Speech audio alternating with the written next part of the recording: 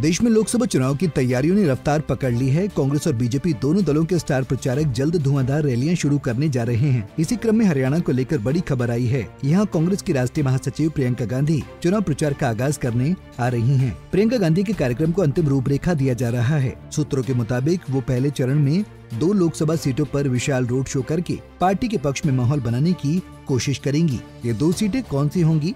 फ़िलहाल इसे सार्वजनिक नहीं किया गया है।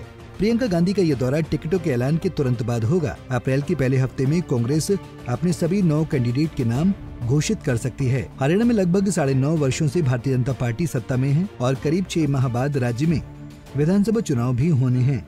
ऐसे में प्रियंका गांधी के निशाने पर केंद्र की मोदी सरकार के साथ साथ राज्य की भाजपा सरकार भी होगी। प्रियंका गांधी इससे पहले भी साक्षी मलिक और बजरंग पुनिया जैसे पहलवानों से मुलाकात कर बीजेपी को घेर चुकी हैं। पिछले दिनों राज्य में हुए नेतृत्व परिवर्तन ने कहीं न कहीं बीजेपी की असहजता को दिखाया है। प्रियंका इसको लेकर भगवत दल को निशाना बना सकती हैं। होड्डा और एसआर की खेमा साथ आएँगे नज़र। कांग्रेस पार्टी अपने अंदर गुटबाजी के लिए कुख्यात है। अन्य राज्यों की तरह हरियाणा में भी पार्टी खेमों में बटी है। इनमें पूर्व सीएम भूपेंद्र सिंह हुड्डा और एसआर की खेमा प्रमुख है। शीर्ष नेतृत्व के सामने इन दोनों के बीच सामंजस्य बैठाना बड़ी चुनौती है।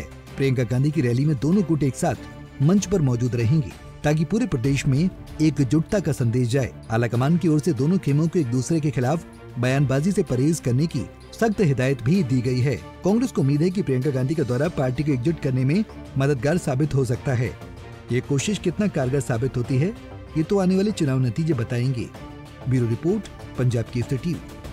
हमसे जुड़े रहने के लिए हमारे YouTube चैनल को सब्सक्राइब करें और नई वीडियो की नोटिफिकेशन के लिए बेल आइकॉन को दबाएँ।